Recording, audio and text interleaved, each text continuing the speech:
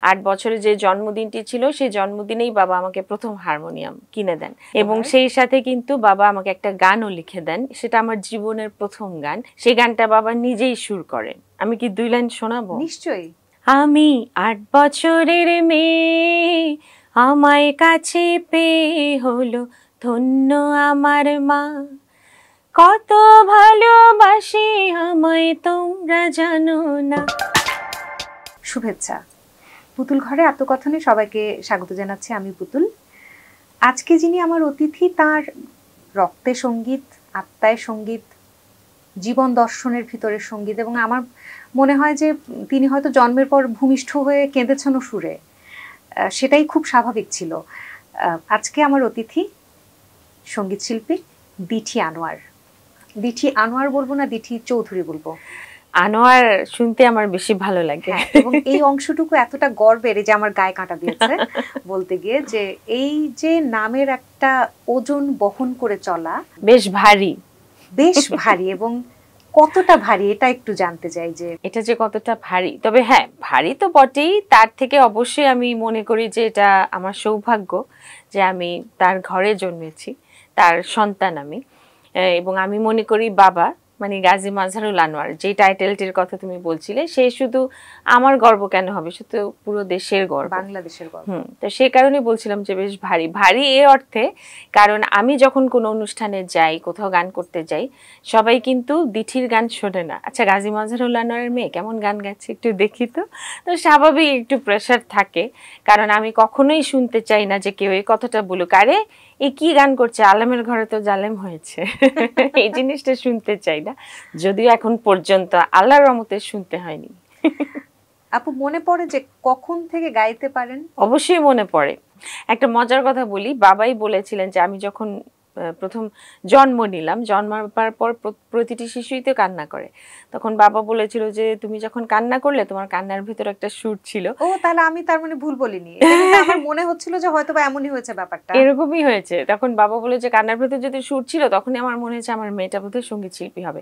আর বাবার এই কথাটা বলার অর্থ সেই হয়তো মনে মনে সেই স্বপ্নটা দেখেছে সেই ইচ্ছেটা পোষণ করেছে। কারণ বাবা তো সঙ্গীতের পাশাপাশি একজন চলচ্চিত্রেরও মানুষ। কিন্তু আমি দেখেছি যে চলচ্চিত্রের ব্যাপারে সে কখনোই আমাকে উৎসাহ দেয়নি বা অনুপ্রেরণা ওভাবে দেয়নি যতটা তিনি গানের ব্যাপারে দিতেন। আর আট বছর বয়স থেকে আসলে আমার সঙ্গীতে হাতে খড়ি এবং সেই আট বছরে যে জন্মদিনটি ছিল সেই জন্মদিনেই বাবা আমাকে প্রথম হারমোনিয়াম কিনে দেন বার্থডে গিফট। এবং সেই সাথে কিন্তু বাবা আমাকে একটা গানও লিখে দেন সেটা আমার জীবনের প্রথম গান। সেই গানটা বাবা নিজেই সুর করেন। আমি কি দুই লাইন শোনাবো? নিশ্চয়ই। গানটা ছিল এমন আমি আট বছরের মেয়ে।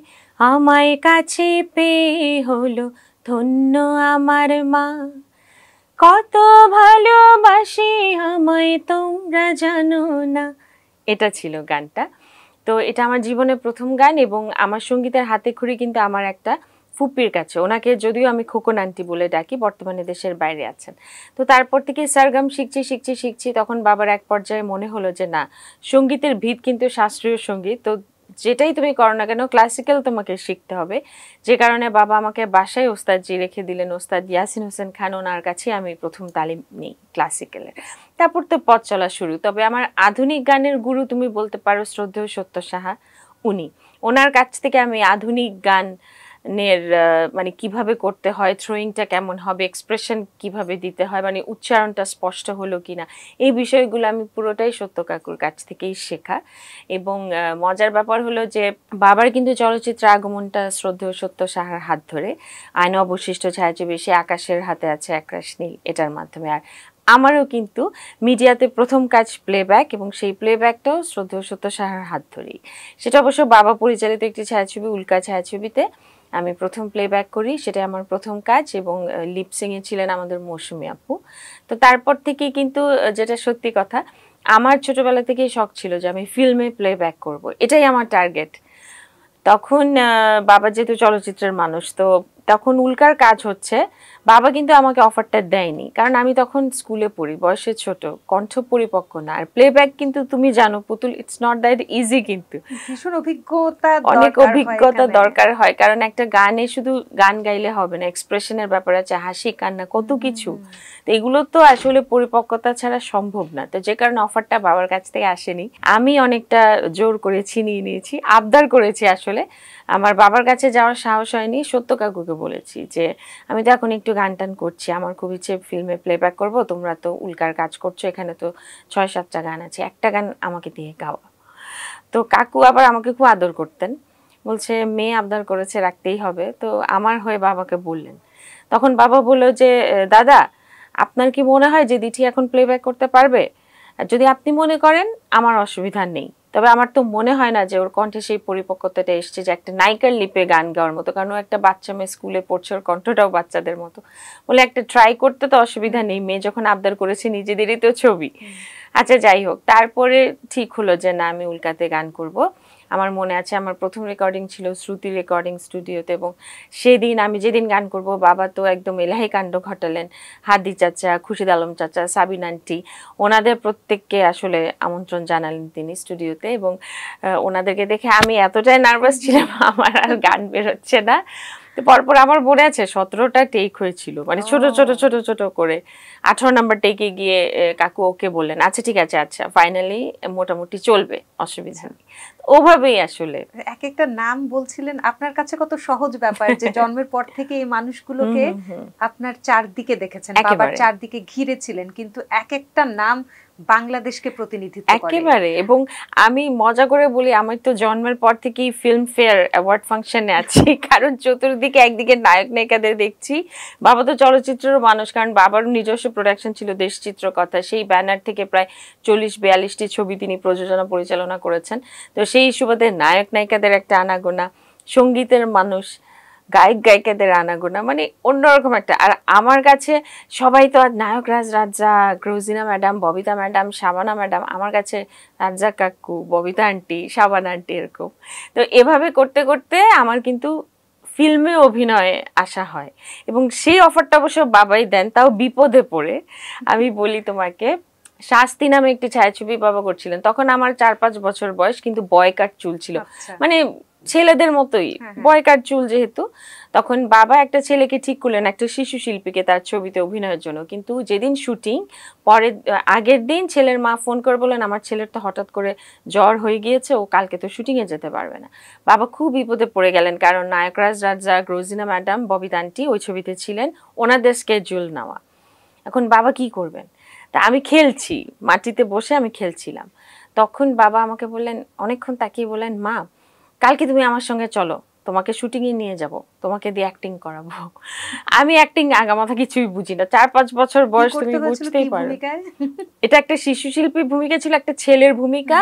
আমার ভূমিকাটা ছিল ববিদানটি হচ্ছেন আমার সৎ বোন। আচ্ছা। নায়করাজ রাজরাগ হবেন আমার বাসার ড্রাইভার আর রোজিন আন্টি হচ্ছেন আমার গভর্নেন্স মানে উনি আমাকে পেলে টেলে বড় আচ্ছা। করছেন এরকম একটা চরিত্র ছেলের চরিত্র তখন বাবা বললেন, ছেলের চরিত্র কিন্তু মা। আমি বললাম, ছেলের চরিত্র? বলে হ্যাঁ তোমার বয়কার চুল তো, প্যান্ট, শার্ট পরাই দেবো, অসুবিধা নাই। তা আমি আবার ছোটবেলা থেকেই খুব ফুডি খাওয়া দাওয়া পছন্দ করি, এখনও তুমি আমাকে দেখলেই বুঝতে পারো। তা আমি বাবাকে খালি বলতাম, শুটিং স্পটে যাব এক শর্তে, আমার জন্য প্রচুর খাওয়া দাওয়ার অ্যারেঞ্জমেন্ট যেন থাকে, নাহলে কিন্তু শর্ট দিব না, এরকম একটা বিষয়। এই তো গেল শিশু শিল্পী হিসেবে চলচ্চিত্র অভিনয়। পরবর্তী সময়ে নায়িকা চরিত্রে অভিনয়ের জন্য কোনো প্রস্তাব? হ্যাঁ এসছে। একটা, আরেকটা মজার কথা বলি। নায়িকা চরিত্রের যে কথাটা, এখন তো ফেসবুকের যুগ, জানোই। তো একজন খুব নাম করা প্রডিউসার উনি। নাম বললেই তুমি চিনবে, নামটা বলতে চাই না। উনি আমাকে ফেসবুকে নক করলেন। উনি প্রডিউসার কাম ডিরেক্টর দুটোই। তো উনি আমাকে নক করলেন নক করলেন ফেসবুকে। তো আমাকে উনি মেসেঞ্জারে ইনবক্স করছেন। আমি কিন্তু ওনাকে চিনেছি। চিনেই কিন্তু আমি ওনাকে- অ্যাড করেছি। কারণ না চিনলে তো আমি অ্যাড করব না। অ্যাড যখন করলাম উনি আমাকে মেসেঞ্জারে নক করছে। আমাকে বলছে যে আমার নাম উমুক তমুক আমি ফিল্ম প্রডিউসার এটা ওটা। তখন আমি আবার নিচে লিখছি আমি জানি। তখন উনি আমি সালামও দিলাম। তখন উনি বলল যে আমি একটা সিনেমা করছি। আমার সিনেমার নায়িকার যে চরিত্রটা একটা নতুন মুখ আমি চাই। এবং তোমার যে ফেসটা আমার ক্যারেক্টারের সঙ্গে খুব যায় নায়িকার ক্যারেক্টারের সঙ্গে। আমি তোমাকে কাস্ট করতে চাই। আর তোমার এগেনস্টে হিরো হবে শাকিব খান। হ্যাঁ তুমি আচ্ছা। বুঝতেই পারো কত লোভনীয় অফার তখন আমি সাথে সাথে ওনাকে বললাম আঙ্কেল ছবি করার যদি ইচ্ছেই থাকতো তাহলে তো বাবার ছবিতেই করতাম। তো উনি আঙ্কেল শুনে উনি বোধহয় একটু সারপ্রাইজড হয়ে গেলেন যে আঙ্কেল কেন ডাকছে আমাকে? তো উনি আবার অনেকগুলো কোয়েশ্চেন আঙ্কেল লিখে একটা কোয়েশ্চেন মার্ক দিয়ে বললেন, তুমি বলছো তুমি বাবার ছবিতেই অ্যাক্টিং করতা, যদি অ্যাক্টিং করার ইচ্ছা থাকতো তুমি কোন বাবার মেয়ে? তারপরে যখন বাবার নামটা বললাম, উনি বোধহয় খুব অপ্রস্তুত হয়ে গেলেন, উনি সাথে সাথে লিখলেন, তুমি গাজী ভাইয়ের মেয়ে? তুমি গাজী ভাইয়ের মেয়ে? ও আচ্ছা মা সরি আমি তোমাকে চিনতে পারিনি, অনেক ছোট দেখেছি তো, এখন তো তুমি বড় হয়ে গিয়েছো। তোমাকে আমি চিনতে পারিনি। না না কোনো অসুবিধা নাই মা। আমি তো জানি তুমি গান করছ তুমি গানই করো তোমার অভিনয় করতে হবে না। এরকম একটা বিষয় আর কি। আপনার মার ব্যাপারে একটু জানতেই চাই যে এরকম একটা পরিবেশের মধ্যে তিনি একজন তিনিও তো মনে হয় বিনোদন অঙ্গনের ছিলেন। ছিলেন। হুম মা কিন্তু খুব নামকরা উপস্থাপিকা ছিলেন। হ্যাঁ। এবং তখন সত্তর আশি দশকের কথা আমি বলছি মা কিন্তু এককভাবে তখন তো বিটিভি ছিল এককভাবে অনেকগুলো ম্যাগাজিন প্রোগ্রাম উনি উপস্থাপনা করতেন। মানে মহিলাদের ভেতর বেশ জনপ্রিয় ছিলেন একেবারে লাইমলাইটে তো তখন মা দেখলেন যে প্রচুর অফার আসছে মা খুব ব্যস্ত হয়ে যাচ্ছেন আর বাবা তো বরাবরই ব্যস্ত ফিল্মের কাজ গানের কাজ নিয়ে। তো মা তখন চিন্তা করলেন যে দুজন ব্যস্ত হয়ে গেলে ছেলে মেয়ে দুটোকে কে দেখবে আমরা এক ভাই এক বোন। তখন মাই কিন্তু এই স্যাক্রিফাইসটা করলেন। পুতুল তুমি এখন মা হয়েছো তুমি বুঝবে যে আসলে আমার আমার মনে হয় যে এটা মাদের পক্ষেই করা সম্ভব। মা তখন লাইমলাইটে থাকা অবস্থা এই লোভটা কিন্তু অনেকে সামলাতে পারে না একদমই। অ্যান্ড ফেমের তো মা লাইমলাইটে থাকা অবস্থায় একেবারে ওনার পুরো পেশাটাকে পরিত্যাগ করলেন। করে উনি পুরোটা সংসারে মন দিলেন। আমার মানে ওনার বাচ্চা মানে আমাদেরকে তিনি বড় করলেন। আমাদের লেখাপড়া থেকে শুরু করে সব কিছু কিন্তু মা একদম এক হাতে ম্যানেজ করতেন। কারণ বাবা তো খুব ব্যস্ত ছিলেন। আর মা সবসময় এতটাই সাপোর্টিভ ছিলেন বাবার প্রতি। মানে মা কখনোই চাননি যে বাবার কাজে কোনো রকমের কোনো প্রতিবন্ধকতা। মানে এটা যে শুধু সন্তান লালন পালনের দায়িত্বের কারণে সংসার সঙ্গীকেও যে একেবারে। মানে বাবা কিন্তু আমাদের ব্যাপারে মানে আমরা তো বাবার জন্য পাগল ছিলাম বাবাও তার পরিবারের প্রতি এতটাই ডিভোটেড ছিলেন মানে এটাকেও আমরা কোনোদিন বলতে পারব না যে বাবা কাজের জন্য তার ফ্যামিলিকে ইগনোর করেছেন বা আমাদেরকে সময় দেননি একদমই না। বাবার বিষয়টা ছিল যে মানে শুটিংয়ের এর বাইরে কিংবা গানের বাইরে যতটুকু সময় তিনি পেতেন মানে কোনো রকমের অন্য কোনো আড্ডায় তুমি কখনো ওনার নাম শুনবে না যে উনি গিয়েছেন।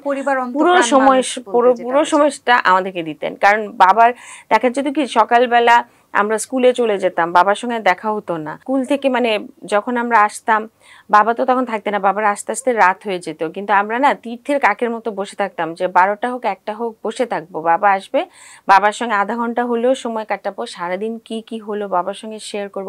এবং বাবাও সেটা করতেন মানে আমাকে, আমাদেরকে প্রোডাকশন থেকে বলতেন যে মানে স্যার হচ্ছে কখন কাজ শেষ করে তিনি বাসায় যাবেন? এ ধরনের একটা টেন্ডেন্সি থাকতো বাবার ভিতরেও। তো দেখা যেত যে বাবা আসতেন, রাত বারোটা হোক, সাড়ে এগারোটা হোক, আমরা বসেই থাকতাম, আমি এবং আমার ভাই। সারাদিন কি কি হলো বাবার সঙ্গে গল্প করতাম সব কিছু শেয়ার করতাম। তো তো- তখন থেকেই বাবার সঙ্গে আমাদের একটা অন্যরকম বন্ধুত্বপূর্ণ সম্পর্ক ছিল, একটা শেয়ারিং মানে আমার জীবনে তেমন কোনো ঘটনা নেই যেটা বাবা জানে না। আর আরেকটা বিষয় হলো যে, আমাদের বাংলা নোট সবসময় বাবা করে দিতেন। আমার এটাও মনে আছে, আমরা বাংলায় সবসময় হায়েস্ট মার্ক পেতাম। বাবা শুটিংয়ে গেছেন হয়তো আউটডোরে আমার সামনে বাংলা পরীক্ষা। বাবা শুটিং স্পটে মানে কক্সেস বাজারে বসে নোট লিখে কুরিয়ার করে পাঠিয়েছেন এবং সেই নোট পরে আমি পরীক্ষা দিয়ে হায়েস্ট মার্ক পেয়েছি। তো বাবা, এই বিষয়গুলো বাবা, আমি বলব যে মানে কোনো সময় তিনি ইগনোর করেনি বা অবহেলা করেনি বা কাজের কারণে পারব না, এ ধরনের কোনো শব্দও তিনি উচ্চারণ করেননি। আর আমাদের সঙ্গে তো বন্ধুত্বপূর্ণ সম্পর্ক সবসময় ছিল বরাবরই ছিল। আর আরেকটা আফসোস আমার কাজ করে। আমি সবসময় বন্ধু বান্ধবদের কাছে শুনতাম আজকে বাবা বকেছে আজকে বাবা মেরেছে। আমরা বাবা মারা তো দূরের কথা। উচ্চ শব্দেও কথা বলেনি আমাদের সাথে কোনোদিন। বাবার বকাটা কেমন ছিল? শুনলাম তুমি এটা করেছ। এই কাজটা করা তোমার ঠিক হয়নি। এতটুকুই যথেষ্ট ছিল আমাদের জন্য আমার এবং ভাইয়ার জন্য। এতটুকুই যথেষ্ট যে বাবা বলেছে কাজটা ঠিক হয়নি। আমি কেন করলাম কাজটা? এই যে আমার ভেতরে একটা আমি অনুতপ্ত হচ্ছি অপরাধ বোধ কাজ করছে। এটাই ছিল আসলে বিষয়টা। সেই পরম বন্ধু বাবা আহ, চলে গেলেন এক বছর তো হয়ে যাচ্ছে। বাবা বিহীন এই জীবনটা একদমই ফাঁকা ফাঁকা। যেমন সম্প্রতি কিন্তু আমার গানের তিরিশ বছর পূর্ণ করেছি আমি। তো সেটা উপলক্ষে একটা সংগঠন আমরা সূর্যমুখী ওরা বেশ বড় করে একটা আয়োজন করেছে। তো সেখানে আমাকে সব ইন্টারভিউ নিচ্ছিল সাংবাদিকরা এসে জিজ্ঞেস করছিল কেমন লাগছে? আজকে তো খুব আনন্দের দিন খুব খুশির দিন। কিন্তু আমি এটা বলতেই পারিনি যে না আমার জন্য খুব আনন্দের দিন। কারণ হ্যাঁ আনন্দের ভেতরে যেটা ছিল একটা ফাঁকা ফাঁকা অনুভূতি কাজ করছে। কারণ এই দিনটা দেখলে হয়তো বাবাই সবচেয়ে বেশি খুশি হতেন। বাবা নেই, বাবা ছাড়া আমি এত বড় একটা আয়োজনের আমি এখানে আজকে গান করব। হাদি চাচা ছিলেন খুশিদ আলম চাচা ছিলেন। আমি অডিয়েন্স গ্যালারিতে ওনারা বসা, আমি সবাইকে দেখছি, বাবাকে দেখছি না। মানে এটা যে কি একটা অনুভূতি, আমি আসলে তোমাকে বলে বোঝাতে পারব না। তবে আমি যেটা মনে করি যে হ্যাঁ বাবার মতো যারা আছেন, ক্ষণজন্মা তারা কিন্তু তাদের কর্মের মাধ্যমে সৃষ্টির মাধ্যমে বেঁচে থাকেন। কারণ প্রতি মুহূর্তেই বাবার নামটা আমার নিতেই হয়। মানে অটোমেটিক চলে আসে কিংবা কোথাও গান করতে যাচ্ছি বা অন্য কেউ গান করছে বাবার নামটা একদমই, আসে। মানে এই নামটা ছাড়া বাংলাদেশের গান তো হয় না। হয় না। মুখে মুখে এই- নাম হ্যাঁ। যে অনুষ্ঠানেই গাইতে যাচ্ছি না কেন এই নামটা কিন্তু উঠে আসছে উঠে আসে। কারোর সেটাই মনে। করো একটা অনুষ্ঠানে তুমি গেছো হয়তো সেখানে চার পাঁচটি গান করছ অটোমেটিক্যালি দেখবে একটা একাধিক দুটো গান বাবার চলেই আসবে। তো তোমার বাবার নামটা নিতেই হচ্ছে। তো যে কারণে এইভাবে সবার মাঝেই তিনি বেঁচে থাকবেন। হয়তো দৃশ্যতে আমরা তাকে দেখি না কিন্তু তার সৃষ্টি তো আছে। আহ, শ্রদ্ধেয় গাজী মাজহারুল আনোয়ার চলে গেছেন। এরকম একটা সংবাদ মানে বাংলাদেশের ইতিহাসে একটা ভীষণ রকম অন্ধকার দিন কালো দিন। আমি একটু সেই দিনটার কথা জানতে চাই। আপনি দেশে ছিলেন না এবং যে কোনো সন্তানের জন্য এটা দুর্ভাগ্যের যে শেষ ক্ষণে শেষ মুহূর্তে সঙ্গে থাকা হলো না। কি করে খবরটা পৌঁছলো আচ্ছা এটা শুনে তো কি অবস্থা ছিলেন এইটা আমার মনে হয় যে একমাত্র এই অনুভূতিটা আমি বুঝেছি আর উপরওয়ালা জানেন যেটা কি ছিল। কারণ আমি তুমি ঠিকই বলছিলে আমি দেশে বাইরে ছিলাম আমেরিকায় ছিলাম। তো কিন্তু আমি তিন তারিখে রওনা হয়েছি। তো রওনা হওয়ার আগে আমি কিন্তু বাবাকে ফোন করেছি। মানে বাবা তো চলে গেছেন চার তারিখ, সেপ্টেম্বর চার তারিখ, তিন তারিখ। মানে বাবার সময় তিন তারিখ রাত সাড়ে আটটায় আর আমার সময় ওখানে সকাল। আমি যখন এয়ারপোর্টে যাই, আমি সেখান থেকে বাবাকে ফোন দিয়েছি যে, বাবা, আমি কিন্তু রওনা হচ্ছি। আমি তোমার টাইম সকাল দশটায় দুবাই পৌঁছাবো। আমার দুবাইতে থাকার কথা দশ দিন। যে আমি দুবাইতে আমার একটু কাজ আছে, আমি দশ দিন থেকে আমি ঢাকা আসব। ধরো সেপ্টেম্বরে দশ বারো তারিখে। তখন বাবা বললেন ঠিক আছে দুবাই পৌঁছাবে সকাল দশটায়। তুমি কিন্তু দুবাই নেমে আমাকে ফোন দিয়ে জানাবে যে তুমি পৌঁছেছো কারণ তখন আমি হসপিটালে থাকব। কারণ বাবার পরের দিন এমনি রুটিন চেক আপের জন্য হসপিটালে তার ডক্টর অ্যাপয়েন্টমেন্ট আছে তার কিছু আলট্রাসাউন্ড করবে সেই ইকোকার্ডিয়াম করবে এই ধরনের কিছু পরীক্ষা নিরীক্ষা তো তখন বাবা আমি বললাম যে হ্যাঁ মা বাবা আমি এয়ারপোর্টে নেমেই তোমাকে ফোন দিব। আমি, তুমি বিশ্বাস করবে না সব সময় আমি ফ্লাইটে উঠলে ওয়াইফাই নেই। ইদার আমি নেই অথবা আমার দুই ছেলে, আমার হাজব্যান্ড ওরা। কিন্তু সেই দিন আমরা কেউ ওয়াইফাই নেইনি। আমরা একেবারে ফ্লাইটে উঠে ঘুম। হ্যাঁ তো একেবারে ঘুম। লং ফ্লাইট তোমার ইউএস টু দুবাই অনেক লম্বা ফ্লাইট আমি ফ্লাইটে পুরো ঘুম। আমি ফ্লাইটে থাকা অবস্থায় মানে আমি দুবাইতে নামার তিন ঘণ্টা আগেই বাবা চলে গেছেন। আমি কিচ্ছু জানি না। কারণ কেউ তো আমাকে কানেক্ট করতে পারছে না। আমার তো ফ্লাইটে ওয়াইফাই নেই। কেউ কানেক্ট করতে পারছে না। তারপর আমি যখন এয়ারপোর্টে নামলাম এয়ারপোর্টে নেমে আমার ছোট ছেলে, ওর নাম আকিব আকিব আমাকে বলল যে, মা আমার ভাইয়ের মেয়ের নাম আরশি। বলে যে, আরশি আমাকে মেসেজ করেছে যে, তোমাকে বলেছে এক্ষুনি তুমি উপল মামা মানে আমার ভাই, আমার ভাইয়ের বোন নাম হচ্ছে আশা, বলছে তুমি উপল মামা আর আশা মামির সাথে ফোন করো। আশি বলেছে ভেরি আর্জেন্ট তুমি এক্ষুনি কল করো। তখন আমি বলেছি, আমি আমি তো এখন এমনিই কল করব, আমি তো দুবাই পৌঁছে এমনিই ফোন করব। তো ওয়াইফাইটা অন করলাম। পুতুল, তুমি বিশ্বাস করবে না ওয়াইফাইটা অন করার পরে আমি দেখি যে আমার মেসেঞ্জারে খালি পপ আপ হচ্ছে, সব মেসেজ এবং প্রত্যেকটা মেসেজ প্রথম দিকেই ইনানিল্লা ইনানিল্লা লেখা। আমি না ইনানিল্লা দেখে আমার মেসেজ খোলার মতো আমার সাহসে গুলাচ্ছে না যে ইনানিল্লা মানে কি? বুঝলাম না কি? আমি তখন আমার সাহসেই গুলাচ্ছে না, আমি জাস্ট তারপর হঠাৎ করে আমার ফেসবুকে একজনের পোস্ট দেখলাম এবং সেই পোস্টটা হচ্ছে আমাদের তাপস ভাইয়ের। গান বাংলার তাপস ভাই, তিনি বাবার সঙ্গে একটা ছবি দিয়ে একটা ছবি পোস্ট করেছেন ফেসবুকে এবং সেখানে লেখা rest in peace the legend সেটা আমার প্রথম জানা। তুমি চিন্তা করতে পারো, তার আগের দিনে আমার বাবার সাথে কথা হয়েছে। বাবা কিন্তু সেরকম অসুস্থ ছিলেনই না। মানে একটু নর্মাল অসুস্থতা যেটা বয়সের কারণে হয়, অতটুকুই। খালি দুই, তিন দিন আগে বলছিলেন যে আমার এমনি শরীর ভালো আছে, একটু শ্বাসকষ্ট হচ্ছে। তো ওটা বাবার মাঝে মাঝেই হতো গ্যাসের প্রবলেম থেকে। তা আমরা ওটাই তো ধরে নিয়েছি।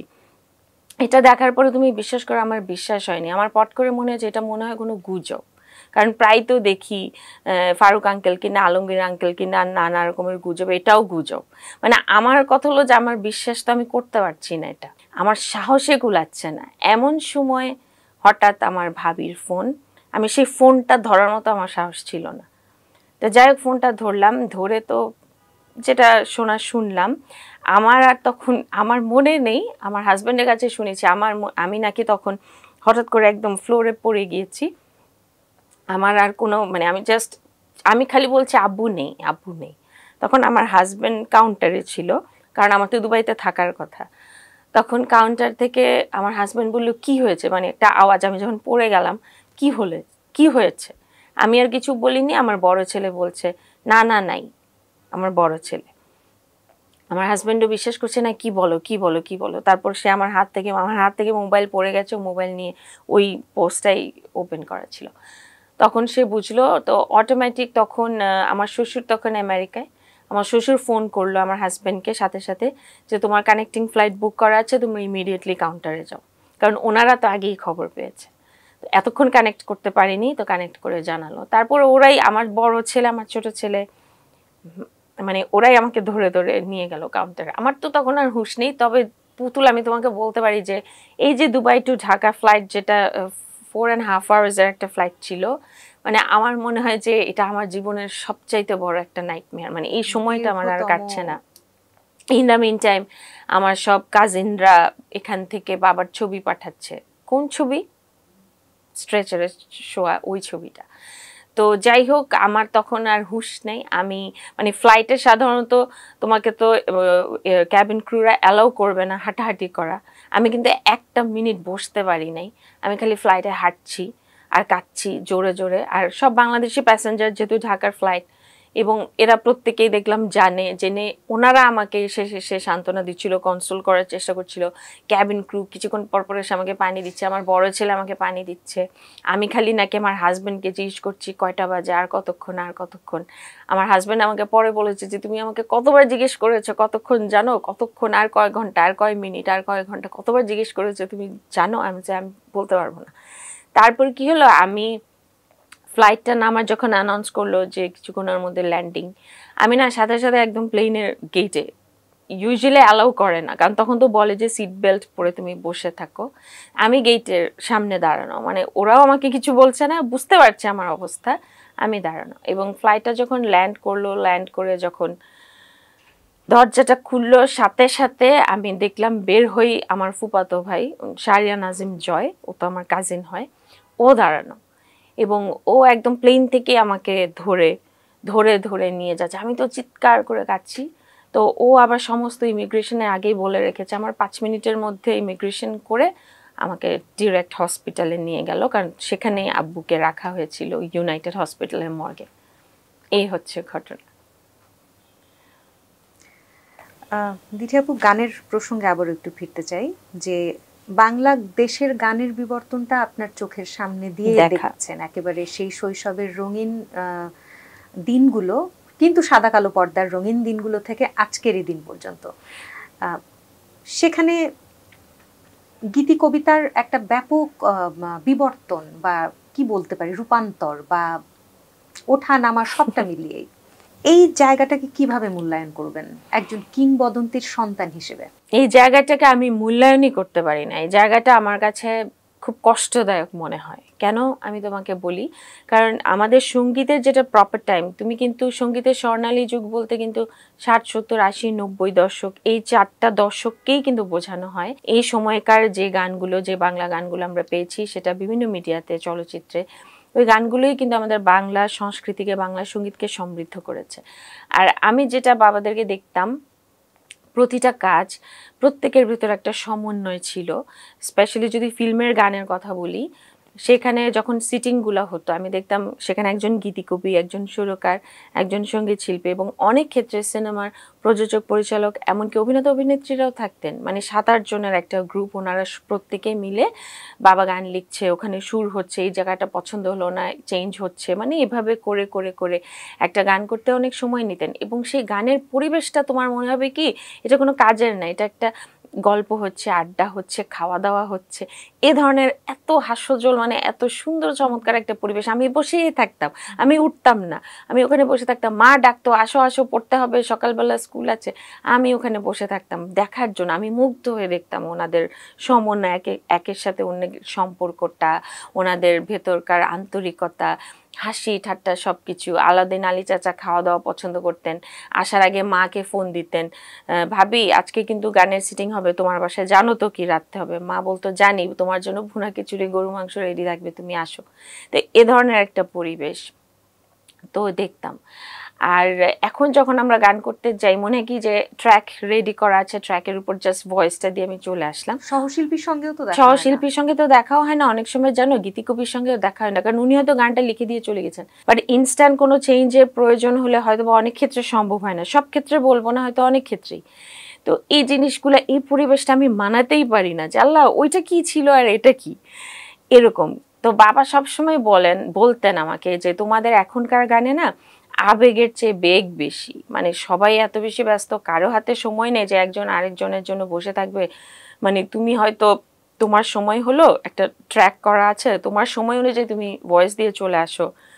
সুরকারের সময় অনুযায়ী কম্পোজিশন করে রেখে দিল। মানে একটা বসে যে সুন্দর করে একটা তৈরি করা, সৃষ্টি করা, সেই জিনিসগুলো আমি দেখি না তোমাদের এটা।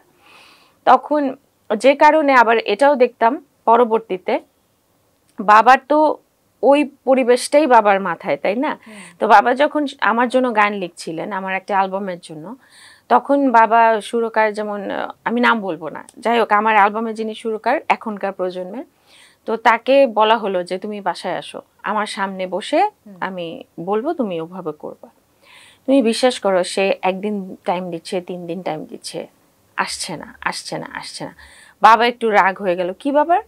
বেয়াদব একটা এতবার করে বললাম যে গানটা নিয়ে বসবো আসলো না আসলো না। শেষে আমি তাকে ফোন দিলাম যে কি ব্যাপার ভাই? বাবা আপনার জন্য এরকম দু তিন দিন ওয়েট করছে আপনি যান নাই। বলে দিঠি আমি তো এটা গাজী ভাইকে বলতে পারি না। বলছি কি? বলে ওনার সামনে বসে আমি কীভাবে হারমোনিয়ামে সুর করব। এটা তো আমার পক্ষে সম্ভব না। তুমি একটু একটা কাজ করো না লিরিকটা আমাকে দিয়ে দাও। আমি বাসায় বসে গানটা বানিয়ে যেদিন ফাইনাল হবে সেদিন আমি গিয়ে তোমার আব্বুকে শোনাবো। আমি সে আব্বু তো এভাবে গান করবে না। কারণ আব্বুর কথা হলো যে তোমরা আসবা বাসায় আব্বু গান লিখেছে লিরিক শুনবা আব্বুর সামনে আব্বুর একটা সুরও মাথায় চিন্তা হয় সেটা হয়তো তোমাকে বলবে একটা গাইডেন্স দিবে তোমাকে তারপরে তোমাকে বলবে সুর করো এটা বসে বলে এটা সম্ভবই না আমার পক্ষে আমি ওনার সামনে বসে জায়গাটাও কিছুটা মনে হয় বুঝতে পারি হ্যাঁ, হ্যাঁ কারণ যে মানুষের সঙ্গে বসে আমাদের কিংবদন্তিরা সুর করেছেন হ্যাঁ। তার সামনে বসে একটা নতুন ছেলে সুর করবে হ্যাঁ। তখন আমি বললাম তাহলে কীভাবে হবে গানটা? বল কি দিচ্ছি। আমি তাহলে এটা তো তোমার আব্বুকে বলা উচিত ফোন করে যে এভাবে। এটা আমি বলব নাকি? আমি বলতে পারব না। দিচ্ছি তুমি একটু বুঝিয়ে বলো না প্লিজ এরকম এরকম। পরে আমি আব্বুকে বুঝিয়ে বললাম যে আব্বু আসলে সিস্টেমটা এমন কি করবা? আব্বু বলে ঠিক আছে নাও। গান দিল।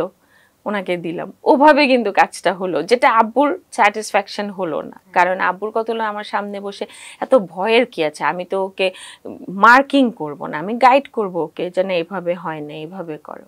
তো এই জিনিসগুলা।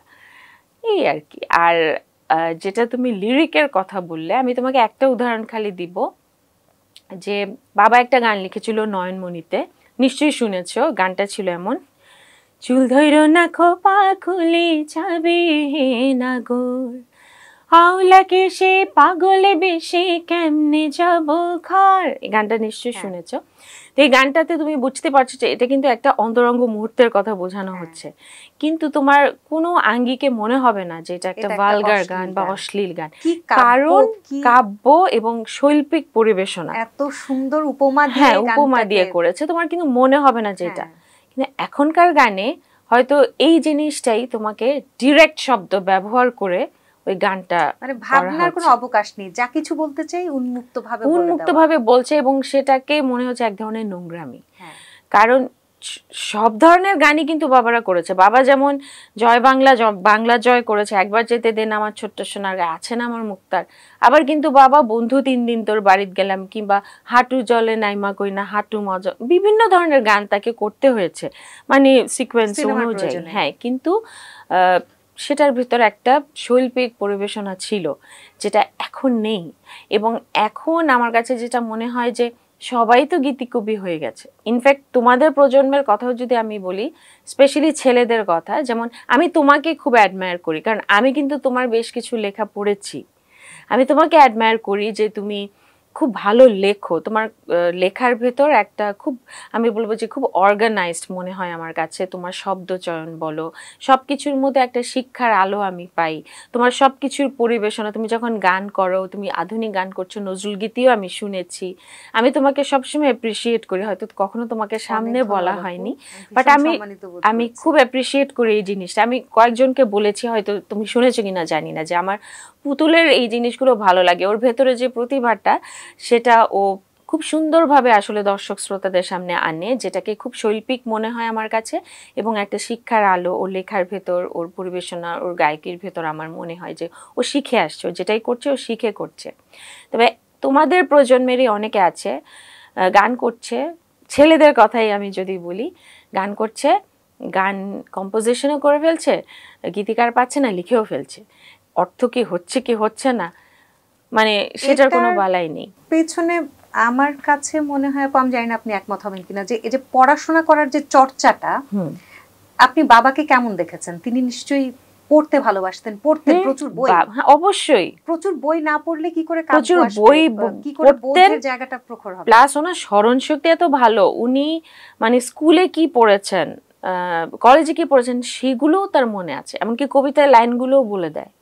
মানে তার স্মৃতিশক্তি এবং এটা এই যে এই শিল্পটার প্রতি তার শ্রদ্ধা, তার ডিভোশন সব কিছুই আসলে আজকে একজন গাজী মাজহারুল আনোয়ারকে তৈরি করে। আর আমি আমি কেন বলছি যে ওনার ডিভোশন কিংবা ওনার শ্রদ্ধা? আমি তোমাকে একটা উদাহরণ দিব। যে বাবার চলচ্চিত্রে আসা শ্রদ্ধ সত্য শাহ ওনার হাত ধরে এবং বাবা পরিচালিত আমাদের প্রোডাকশন থেকে যতগুলো ছায়াছবি হয়েছে, সবগুলো ছায়াছবির সুরকার শ্রদ্ধেয় সত্য শাহ ছিলেন মানে ওনার মৃত্যুর আগ পর্যন্ত। তো এটা নিয়ে আলাউদ্দিন আলী চাচা বলো, আনোয়ার পারভেজ চাচা, সুবল দাস চাচা, ওনাদের একটা আক্ষেপ ছিল। যে গাজী, তোমার নিজের ছবিতে তুমি কখনো আমাদেরকে নাও নাই অ্যাজ আ মিউজিক ডিরেক্টর বাইরের ছবিতে তো আব্বু প্রচুর কাজ করেছে আলাউদ্দিন আলীর সাথে। কারণ আলী চাচারা আবার বাইরের কোনো ছবি করলে মানে একটা ছবিতে যদি ছটা গান থাকে, তিনটা গান হলো আব্বুকে দিয়ে সে লেখাবে। কিংবা সুবল দাসও তাই, আলম খান চাচাও তাই, আনোয়ার পারভেজ চাচাও তাই। কিন্তু আব্বুর ছবিতে ওনারা কখনো ওভাবে সুযোগ পায়নি। তো এটা নিয়ে সবসময় বাবাকে ওরা টিস করতো। যে তুমি সব সময় খালি সত্য সার, সত্য সাহা সত্য সাহার বাইরে আসো। সত্য সাহার বাইরে কি কিছু নাই? তা আব্বুর কথা হলো যে কি, সত্য সার তো আমার গুরু। ওনার হাত ধরে আমি আজকে এসেছি। আজকে যে তোমরা আমাকে চিনো গাজী মাজহারুল আনোয়ার কে বানিয়েছে? সত্য সাহা বানিয়েছে। ও যদি আমার আয়না অবশিষ্ট গানটা যদি সুভাষ দত্তের সামনে শুনিয়ে আমাকে ওই ছবিতে কাজ না করতাম আমি কি আজকে গাজী মাজহারুল আনোয়ার হতে পারতাম? পারতাম না। এই যে তার শ্রদ্ধাবোধ তার কৃতজ্ঞতা বোধ এটা তার সে আমৃত্যু বজায় রেখেছে। এবং সত্য কাকু যখন চলে গেলেন তখন তিনি কাকে চান্স দিলেন জানো? ইমন সাহাকে তাও আলাউদ্দিন আলী কিংবা আনোয়ার পারভেজ আসে নাই। ইমন সাহা। কেন? তার গুরুর ছেলে। কারণ ইমনদা তখন মিউজিক করছে নতুন নতুন। তখন আব্বু বললেন যে আমি তোকে ফিল্মে ব্রেক দিব। এবং সেই ইমন সাহা বাবার পরাধীন ছায়াছবির মাধ্যমে মিউজিক কম্পোজার হিসেবে আত্মপ্রকাশ করল। কত বড় একটা শিক্ষা না? এই সময়ের যারা গান করছে নতুন তাদের জন্য কত বড় শিক্ষা যে এই- ঐতিহ্যটা পরম্পরাটা বজায় রাখা। বজায় রাখা। শ্রদ্ধাবোধ তার। শ্রদ্ধা বাবা সবসময়- কৃতজ্ঞতাবোধ শিকড়ের সবকিছু। কথা মনে রাখা শেকড়ের কথা মনে রাখা। এই যে তুমি কথাটা বলে শেকড় শেকড়ের কথা মনে রাখা। তো এজন্য এখনকার পরিবেশটা আমার দুঃখ লাগে। আমার কাছে মনে হয় যে না বাইরের একটা সংস্কৃতির একটা ইনফ্লুয়েন্স থাকবে। এটা খুব স্বাভাবিক। আর এখন যেহেতু ইউটিউবের যুগ এখন তো আমাদের কম্পিটিশনটা লোকালি নাই ইন্টারন্যাশনালি হয়ে গেছে তাই না? ইন্টারন্যাশনাল আমাদের আমাদের কিন্তু ভারতবর্ষ বলো বা ওয়েস্টার্ন কালচার প্রত্যেকের সাথে কম্পিট করে থাকতে হচ্ছে। কারণ ইউটিউব তো ওপেন ফর অল সো এখানে তো একটা ওয়েস্টার্ন গানও পোস্ট হবে, একটা ভারতের গানও হবে, আমাদের গানও হবে। তো সেখানে কম্পিটিশনটা নিজেদের মধ্যে নাই। কিন্তু তুমি কম্পিটিশন করতে গিয়ে নিজেকে হারিয়ে ফেলো না। তোমার শেকড়টাকে ধরে রাখতে হবে তো। শেকড়টাকে কারণ তুমি যখন একটা বাংলা গান করবে, আমি যখন দেশের বাইরে যাব, আমাকে কিন্তু আমার দেশের সংস্কৃতিকে রিপ্রেজেন্ট করার জন্য এখানে আনা হয়েছে। সেখানে একেবারে মৌলিক যা কিছু তাই দরকার মৌলিক সেটাই। সেখানে যদি আমি ফিউশন করতে যাই এটার তো কোনো অর্থ বহন করবে আম- আমাদের আরও অনেক বছর আগে তারা করে এসেছে। সুতরাং আমাদের লড়তে হবে কিন্তু আমাদের আমাদের সেটা। সংস্কৃতিটাকে প্রতিষ্ঠিত করতে হবে। এ কারণে আমি মাঝে মাঝে বলি বিভিন্ন চ্যানেলে আমি দেখেছি যে একটা টেন্ডেন্সিও কাজ করে যে আচ্ছা ওপার বাংলার কিছু গান হবে এপার বাংলা। এটা চ্যানেলকে আমি দোষ দিব না। এটা শিল্পীরাই এই জিনিসটা ওভাবে মানে ওই পরিবেশটা ওভাবে ক্রিয়েট করেছে। আমি একজন শিল্পীকেও দেখি বাংলাদেশের শিল্পীরাই যখন বিভিন্ন স্টেজ শোতে গান করতে যায় চ্যানেলে গান করতে যায় দেখা যাচ্ছে যে বাংলাদেশের গান কমই গাচ্ছে। বেশিরভাগই ওপার বাংলার গানগুলো তারা বেশি আমার কথা হলো যে ওপার বাংলার গানগুলো রিপ্রেজেন্ট করে তুমি কি করবা? এটা তোমার দেশের সম্পদ তো না। তুমি তাদেরকে কেন প্রমোট একটা করো? প্রশ্ন আমার আছে সেটা হচ্ছে এই যে আপনি চাইছেন যে গানগুলো বেঁচে থাকুক আপনার বাবার সৃষ্টিগুলো প্রজন্ম থেকে প্রজন্মে ছড়িয়ে যাক বাঁচুক। আবার কেউ কেউ চাইছেন না। হয়তো একজন কিংবদন্তি সুরস্রষ্টা কিংবা গীতিকবির সন্তান বা পরবর্তী প্রজন্ম চাইছেন না যে গানগুলো আর অন্যরা গাক। সেখানে নানা ইস্যু চলে আসছে। কপিরাইট কপিরাইটের বিষয়টা আসছে। তাহলে কোনটা ঠিক? আচ্ছা কপিরাইটের যে বিষয়টা আমি তোমাকে বলি এটা হচ্ছে কি প্রথম কথা হলো যে মেধাশত বিক্রি হয় না। মেধাশত রিসেন্টলি তোমরা খুব তাড়াতাড়ি আমার মনে হয় এই আইনটা পাশ হয়ে যাবে। অনেকে হয়তো বলছে যে হ্যাঁ আমি প্রডিউসার থেকে রাইট কিনেছি সো ওই ছবির সবগুলো গানের কপিরাইট আমার। না। ওভাবে আসলে রাইট কেনা যায় না। হ্যাঁ প্রডিউসার তোমাকে রাইট দিয়েছে গানটা, তোমার চ্যানেলে বাজানোর জন্য তোমাকে পারমিশন দিয়েছে but you are not the owner of that song তোমাকে পারমিশন দেওয়া হয়েছে যে তোমার ব্যানারে বা তোমার প্ল্যাটফর্মে তুমি আমার ছবির এই গানটা তুমি আপলোড করতে পারবা। তোমাকে আমি একটা পারমিশন দিয়েছি বাট পারমিশন দিয়েছি কোন শর্তে? একটা রয়্যালটির বিষয় কিন্তু থাকে। হ্যাঁ।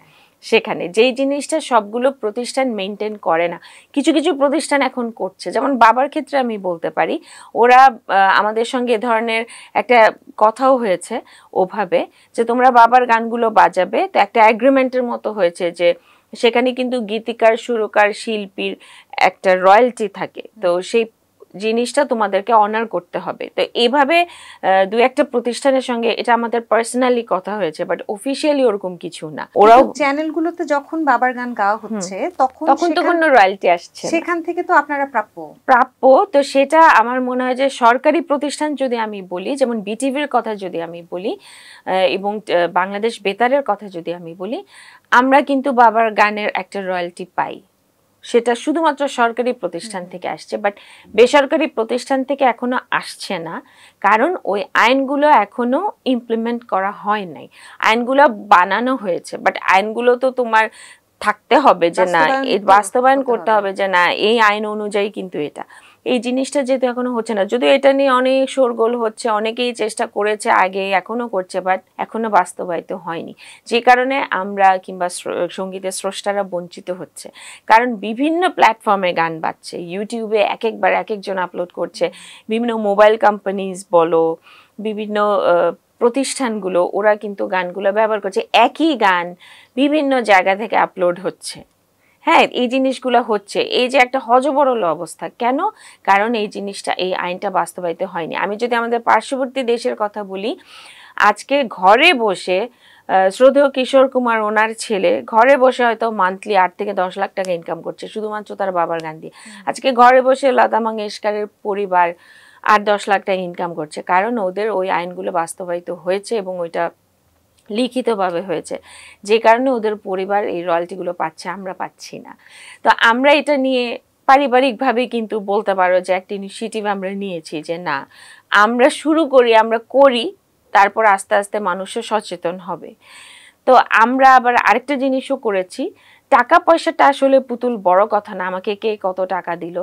তার থেকে আমরা মনে করি যে বাবার গানগুলো বেঁচে থাকুক এটা আমরা চাই। যেমন আমরা বাবাও সবসময় জীবদশায় চাইতেন যে আমার গান সবাই গাইবে, আমি সার্বজনীন, আমার গান সবাই গাইবে, আমি কাউকে বাধা দিব না কিংবা কাউকে আমি ফোন করে বলব না, এই তুমি কিন্তু ওই চ্যানেলে আমার গান গেয়েছো, আমার রয়্যালটি পাঠাও। নো কোয়েশ্চেন অফ ইট এবং তোমরাও কখনো এই কাজটা করবা না। আমাদেরকে স্ট্রিক্টলি বলে গেছে যে কেউ যদি আমার গান করে বা কমার্শিয়ালি করে বা কি, তোমরা কোনো সময় এটা নিয়ে কোনো কিছু বলবা না।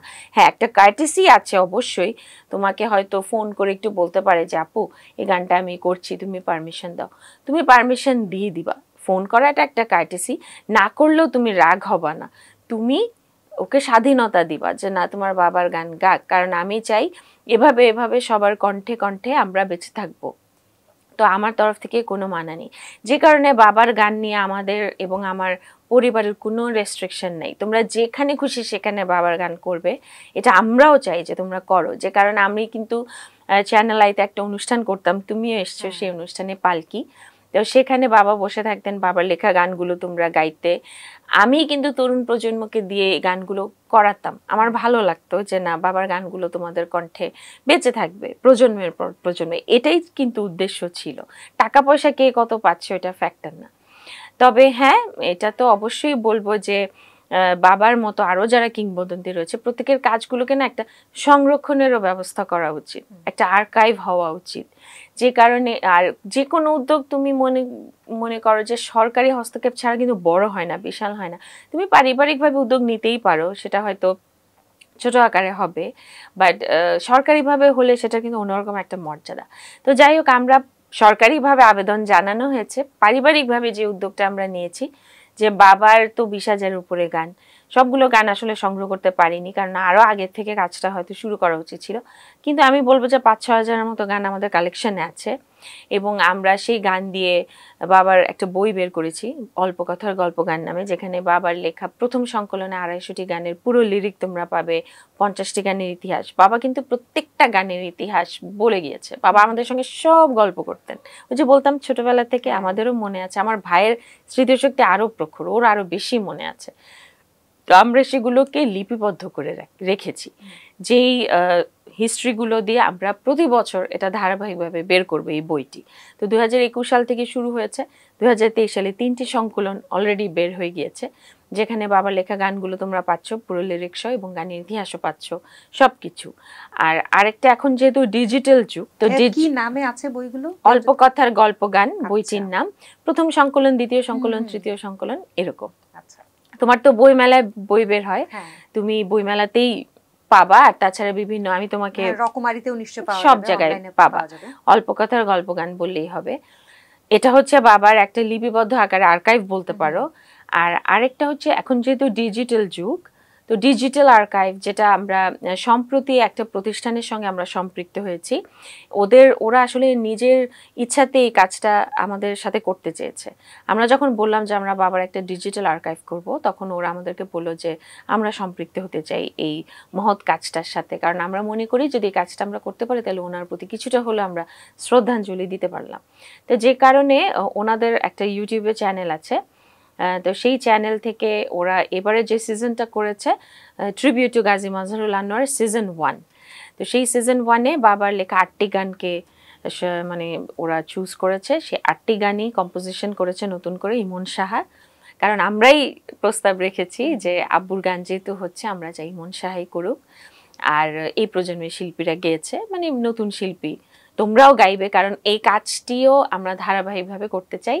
আর ডিজিটাল এই কারণে বলছি ইউটিউবে গানগুলো পাবে এবং তুমি ক্লিক করলে গানের হিস্ট্রিটাও পেয়ে যাবে। আচ্ছা So, এটাও- দুটো উদ্যোগ হ্যাঁ মানে কাইন্ড অফ তুমি বলতে পারো ডিজিটাল আর্কাইভ আর কি। আপনি ভীষণ জীবন ভালোবাসা মানুষ। আপনার আপনাকে যেটুকু দেখি যে যে কোনো সময় গুনগুন করতে করতে হয়তো বারান্দা থেকে ভিডিও দিলেন কিংবা বৃষ্টি কখনো বৃষ্টি পড়ছে কখনো সামনের খোলা প্রান্তরটা দেখাচ্ছেন। জীবন নিয়ে কি দর্শন কাজ করে আপনার?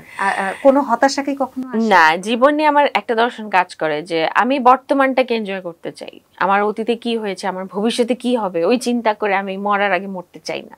এটাই আমার দর্শন। খুব সহজ এবং খুব কঠিন একটা দর্শন। হ্যাঁ আমি এটাই আমার দর্শন। আমার বর্তমান আজকে আছে আমি কালকে নেই। হয়তো এই মুহূর্তে আমি আছি এক ঘণ্টা পর আমি নাও থাকতে পারি। মানে বলে না যে এক সেকেন্ডের নাই ভরসা।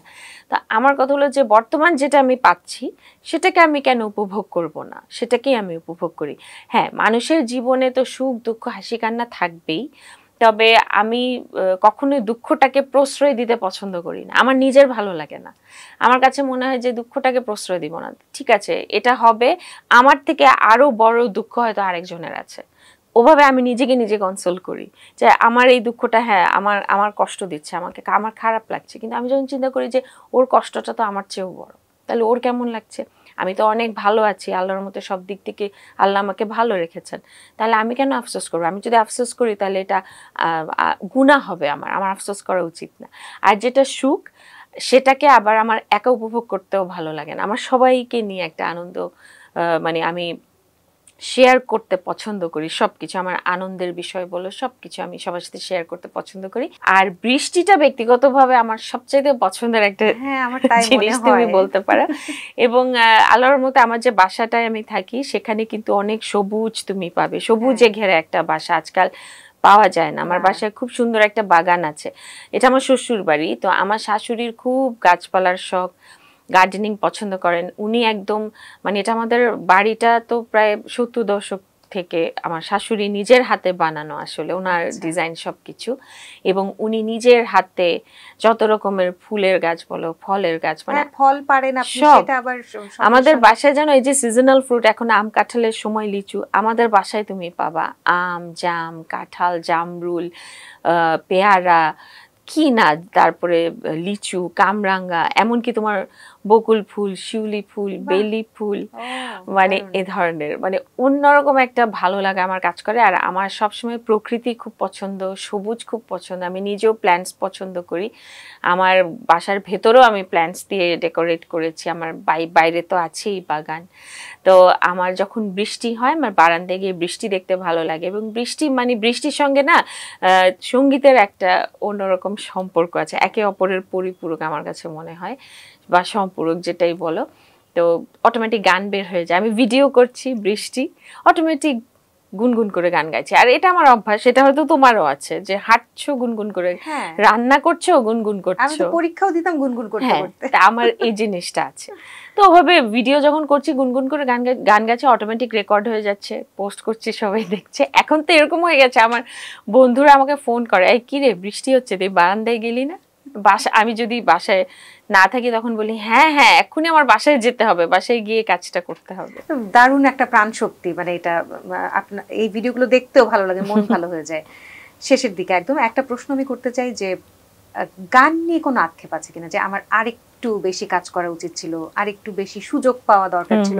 আরেকটা তো বিষয় আমার প্রায় মনে হয় যে চলচ্চিত্রে আপনাকে আরও অনেক বেশি পেতে পারতাম। হ্যাঁ। সেখানটা এত কম কেন? আচ্ছা কোনো আক্ষেপ নেই। কেন জানো? কারণ গানটা না ছোটবেলা থেকে আমি খুব ভালো লাগা থেকে করি এবং ভালোবাসা থেকে করি। কখনো আমার মনে হয় যে মনে হয়নি যে প্রতিযোগিতায় ঢুকবো বা এ আমার কম্পিটিটর এ আমার কন্টেম্পোরারি সিঙ্গার এর কাজ বেশি, আমার কাজ কম কেন?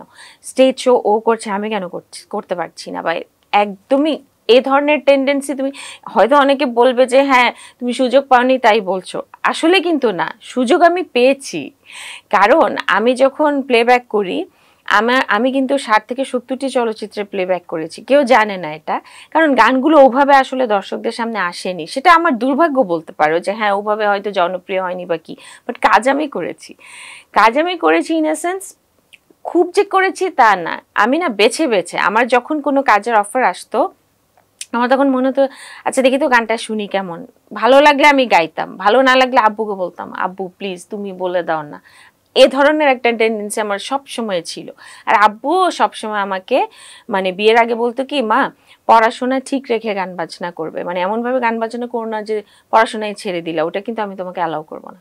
তা আমি কিন্তু যে কারণে আমি পড়াশোনা ঠিক রেখেছি, আমি কিন্তু মাস্টার্স করেছি ঢাকা ইউনিভার্সিটি থেকে, অনার্স, মাস্টার্স, পাশাপাশি গানটা করতাম। আর বিয়ের পরে বাবা বলতেন কি, মা, সংসারটা ঠিক রেখে গান বাজনা করবে। মানে এমনভাবে সারাক্ষণ শোটো নিয়ে ব্যস্ত থেকো না যে তোমার বাচ্চারা ইগনোরড হয় বা তোমার পরিবারকে তুমি অবহেলা, এটা করো না, মা।